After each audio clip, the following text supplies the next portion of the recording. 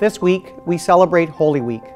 Thank you to all of the staff that have helped prepare students for this holiest week in the liturgical calendar. It has been amazing to see that even during the pandemic, there were so many Lenten projects to support others, including funds for Chalice Canada to sponsor children and elders in developing countries, clothing for homeless, donations to food banks, donations to Shepherds of Good Hope, Shauna's Outreach, Adam's Dream, Kateri Native Ministry, and many, many other school and department selected charities. With the end of Lent, we move to the celebration and the resurrection of Jesus on Easter. Throughout our schools, preparations have included passion plays, praying in color, stations of the cross, walks with Jesus, and amazing artwork. I hope that this weekend you and your family are able to continue any traditions that you may practice, including church services, whether they be in person or virtual, and other traditions like Easter egg hunts and the painting of Easter eggs.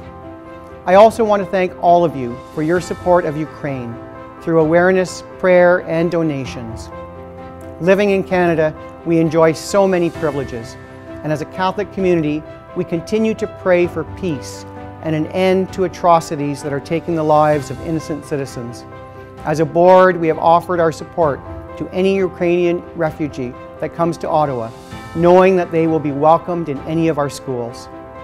While we recognize this sacred time of year, we are also once again faced with the realities of educating during the pandemic. You are well aware that since the lifting of most restrictions, we are seeing a spread of COVID throughout the City of Ottawa. Our schools are not immune to this spread, and we are seeing many students and staff become ill with COVID.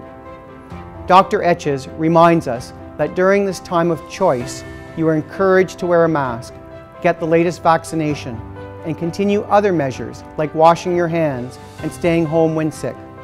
Thank you to our principals, vice principals, and office administrators who are scrambling every day to try and find creative ways to cover classes and support students when a qualified replacement cannot be found. We are at the point where we are closing some classes despite the incredible efforts of our staff to cover classes for ill colleagues when a replacement cannot be found. As we have done over the last two years, we will collectively do our best. That's all we can ask of one another. I wish you and your family a blessed and happy Easter.